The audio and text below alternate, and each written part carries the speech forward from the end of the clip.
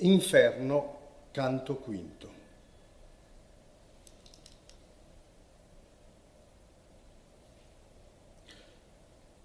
Or incomincian le dolenti note a farmisi sentire. Or son venuto là dove molto pianto mi percuote. Io venni in loco d'ogni luce muto che mugghia come fa mar per tempesta se da contrari venti è combattuto. La bufera infernal che mai non resta mena gli spirti con la sua rapina, voltando e percotendo li molesta. Quando giungon davanti alla ruina, quivi le strida, il compianto, il lamento, bestemmian quivi la virtù divina. Intesi che a così fatto tormento enno dannati i peccator carnali che la ragion sommettono al talento. Canto quinto dei lussuriosi. Eh, il canto si apre con il vento, un, un vento eh, che toglie lucidità, un vento vorticoso, ehm, nel quale noi vediamo girare i, i dannati. È un'immagine fortissima, bellissima, come tutte le immagini scenografiche. Incontreremo poi nel settimo canto forse una delle immagini più forti del, dell'inferno, questa, infinito, eh, questo infinito mare di bare incendiate. Ma qui ehm, entriamo nel canto in questo modo così forte, portati proprio dentro da una, da una folata di vento maligno, di vento cattivo. Mm Cosa, cosa le fa venire in mente subito? Cosa ci può dire di questo, di questo incipit del quinto canto? Intanto siamo realmente nell'inferno, eh, perché prima tra il limbo e gli ignavi, insomma nell'inferno vero e proprio non eravamo arrivati. E siamo accolti prima dal buio, perché la prima sensazione che dà questo canto è che manchi qualunque luce, qualunque illuminazione esterna, interna. E poi c'è questo questa bufera, la bufera infernale che mai non resta. Parentesi, la bufera è il titolo di una delle raccolte di poesia di Montale, espressamente ispirato a Dante, la bufera di Montale della seconda guerra mondiale, e qui è la bufera che travolge i lussuriosi, che Dante mette all'inizio dell'inferno.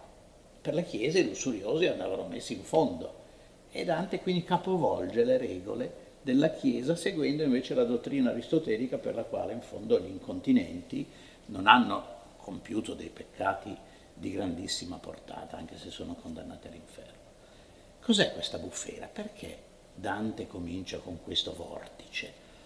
E qui entra in ballo il, uno degli argomenti che ci accompagnerà per tutto questo viaggio, cioè il contrappasso. Come tu in vita hai peccato per questa ragione, così per l'eternità al contrario, contra, passo, patire, eh, soffrire, sopporterai qualcosa di contrario. Come in vita questi lussuriosi sono stati travolti dalla passione, per l'eternità saranno travolti dalla tempesta che li mena, cioè mena anche qui nel senso un po' come usiamo adesso, come si dice a Roma, molte meno, no? Cioè non solo ti conduco, ma ti conduco anche in maniera abbastanza vivace, eh? quindi certo. di fatti questi poveretti non possono porre nessuna resistenza a questo turbine che li travolge. C'è il, ehm, un tema ehm, che, che, mi ha molto, diciamo, molto colpito, insomma, che mi, ha, eh, che mi ha riportato all'attualità in questo campo. Sono passati 700 anni, ma i soprusi e le violenze dell'uomo, quasi sempre compagno o marito, che pensa di disporre della donna come cosa propria, continuano ininterrottamente, ininterrotti.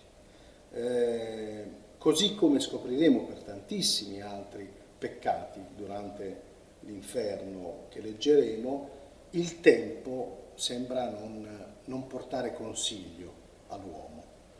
Il tema del femminicidio, dell'omicidio delle, delle, delle donne è un tema assolutamente molto presente in questo canto.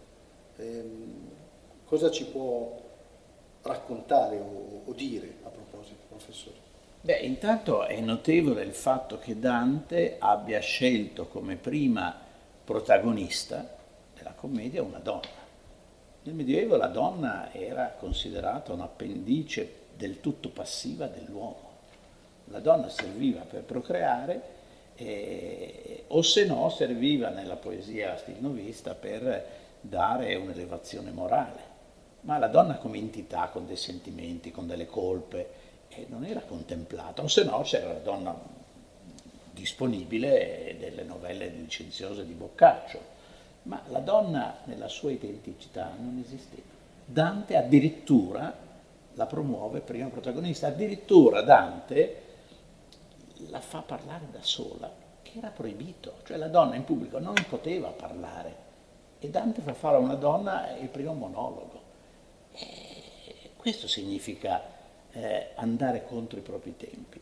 Certo, eh, Francesca, eh, spesso si dice il canto di Paolo e Francesca, Paolo non c'entra nulla, lì muto, che assiste al monologo di Francesca, anche abbastanza sbiadito.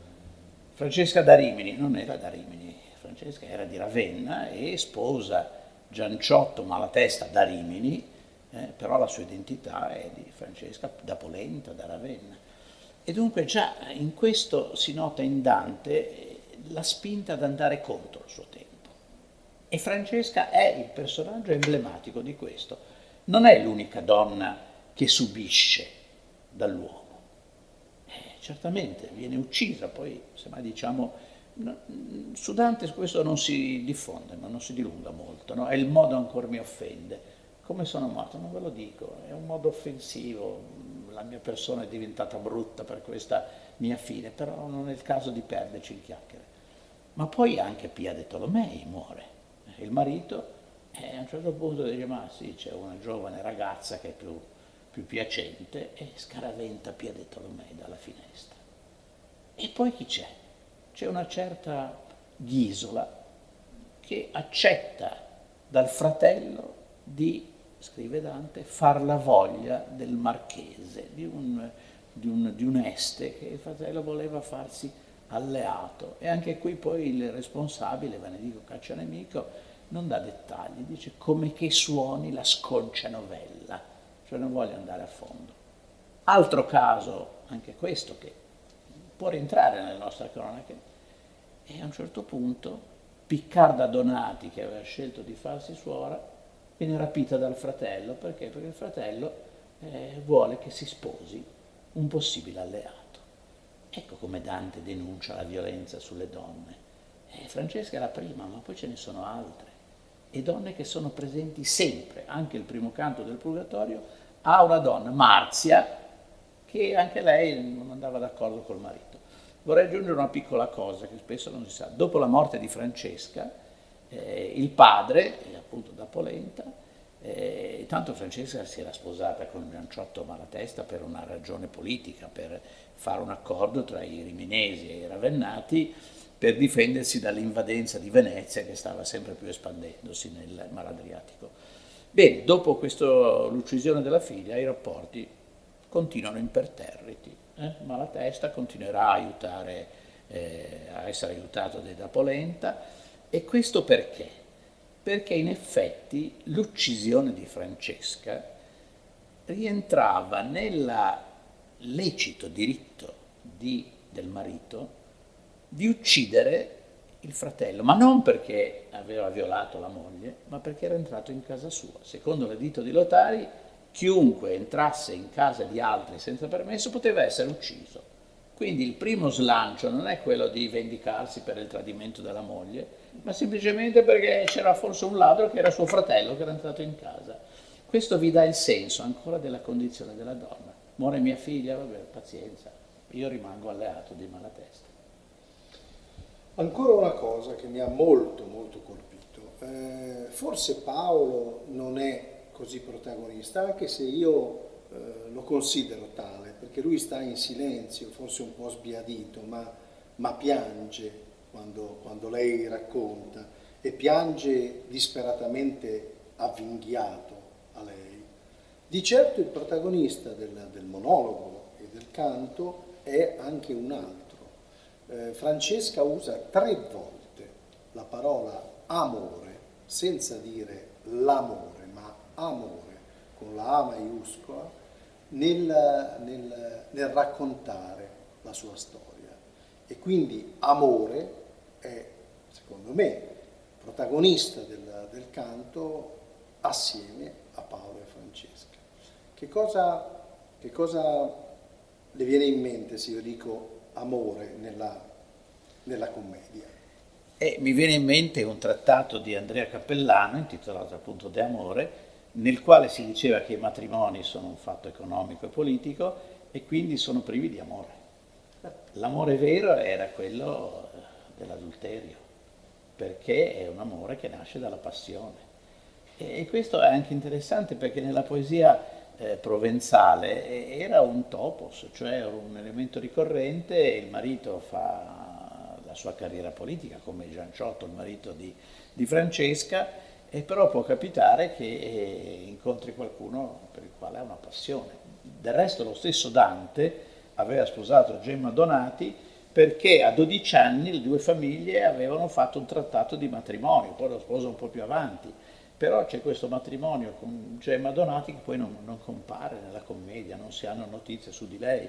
E, e quindi c'era questa realtà, resto il matrimonio diventa un sacramento credo col Concilio di Trento, quindi allora era anche proprio visto come un puro atto giudiziario per avvicinare famiglie che avevano bisogno di supporto reciproco. Quindi, professore, se il matrimonio eh, risulta come, come, come un patto politico, anche nella commedia abbiamo questa, eh, questo tipo di, di, di variante o di spiegazione del matrimonio? Ma nella commedia in realtà non ci sono matrimoni felici, ci sono mariti che come abbiamo visto in maniera anche violenta eh, rifiutano le mogli, ci sono anche mogli che tradiscono i mariti, appunto Marzia del primo canto del Purgatorio ha abbandonato Catone, poi è tornata, ma ci sono altri episodi di mogli che addirittura disturbano i mariti, forse uno dei personaggi eh, che troveremo tra i violenti contro natura è diventato tale perché la moglie lo opprimeva e quindi può essere un... C'è però un matrimonio che finisce bene, che Dante celebra. Oh, meno male. E, quale sarà? Quello di San Francesco con la povertà. Credo che dica tutto. Certo. Grazie. I cominciai. Poeta volentieri parlerei a quei due che insieme vanno e paion sì al vento esser leggeri. Ed egli a me, vedrai quando saranno più presso a noi, e tu allor li priega per quello amor che imena ed ei verranno. Si tosto come il vento a noi li piega, mossi la voce o anime affannate, venite a noi parlar, s'altri non niega. Quali colombe dal disio chiamate, con l'ali alzate e ferme al dolce nido, vegnon per l'aere, dal voler portate. Cotali uscir della schiera ov'è dido a noi venendo per l'aere maligno, sì forte fu l'affettuoso grido. O animal grazioso e benigno, che visitando vai per l'aere perso, noi che tignemmo il mondo di sanguigno, se fosse amico il re dell'universo, noi pregheremmo lui della tua pace poi cai pietà del nostro mal perverso, di quel che udire e che parlar vi piace noi udiremo e parleremo a voi, mentre che il vento, come fa, ci tace. Siede la terra dove nata fui, sulla marina dove il Po discende per aver pace coi seguaci sui. Amor ch'al cor gentil ratto s'apprende, prese costui della bella persona che mi fu tolta e il modo ancor m'offende. Amor ch'a nullo amato amar perdona, mi prese del costui piacer sì forte che, come vedi, ancor non m'abbandona. Amor condusse noi ad una morte. Caina attende chi a vita ci spense. Queste parole da lor ci fuor porte, quand'io intesi quell'anime offense, chinai il viso e tanto il tenni basso finché il poeta mi disse che pense? Quando risposi cominciai, oh lasso, quanti dolci pensier, quanto disio menò costoro al doloroso passo. Poi mi rivolsi a loro e parlai io e cominciai. Francesca, i tuoi martiri a lagrimar mi fanno tristo e pio. Ma dimmi, al tempo di dolci sospiri, a che e come concedette amore che conosceste i dubbiosi disiri? E quella a me nessun maggior dolore che ricordarsi del tempo felice nella miseria e ciò sa il tuo dottore. Ma sa conoscer la prima radice del nostro amor, tu hai cotanto affetto, dirò, come colui che piange e dice. Noi leggiavamo un giorno per diletto di lancialotto come amor lo strinse. Soli eravamo e senza alcun sospetto. Per più fiate gli occhi ci sospinse quella lettura e scolorocci il viso. Ma solo un punto fu quel che ci vinse, quando leggemmo il disiato riso esser basciato da cotanto amante.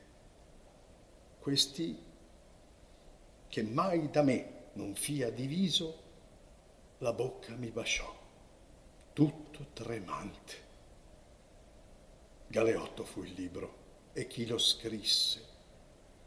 Quel giorno più non vi leggemmo avante. Mentre che l'uno spirito questo disse, l'altro piangea sicché di pietade io venni men, così com'io morisse, e caddi come corpo morto cade.